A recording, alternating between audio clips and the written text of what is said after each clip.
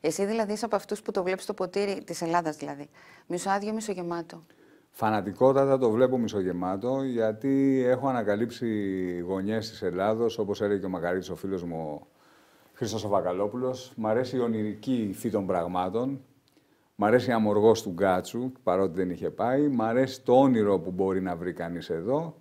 Που το όνειρο δεν είναι κάτι ανυπόστατο, έχει μια υπόσταση, ηλική κιόλας. Έτσι. Μ' αρέσουν οι γειτονιές και μ' αρέσει να βλέπω αισιόδοξα τα πράγματα.